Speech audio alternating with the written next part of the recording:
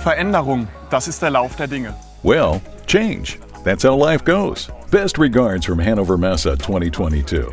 I'm already heading towards October 2023, so to speak. Since in October, the discontinuation of our decentralized peripheral system will become official.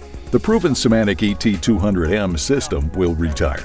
Well, that's why many customers are asking, are there any successor systems? And what about their performance? It's more than enough. We are going to present one of them today, the Simatic ET200SP-HA. There are good reasons to count on and switch to this successor. Four features speak for themselves. Highest availability, robustness, flexible installation, and high scalability. Im Einzelnen. Die höchste Verfügbarkeit wird bei diesem In detail, the successor ensures highest availability by versatile redundancy options. In terms of scalable availability, the user has the choice of connecting their single or redundant station to the controller. In other words, either one or two IMs. The redundant Profinet interface module ensures maximum availability of the bus connection, similar to the Simatic E ET200M.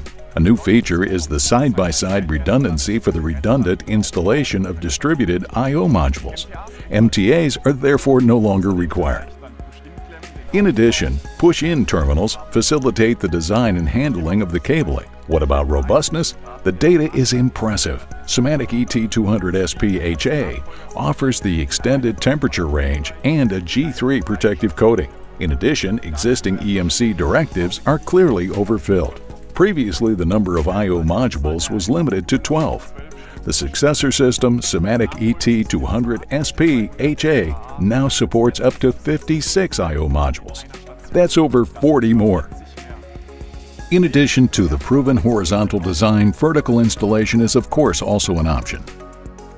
In addition, EX signals are now possible even from EX Zone 0.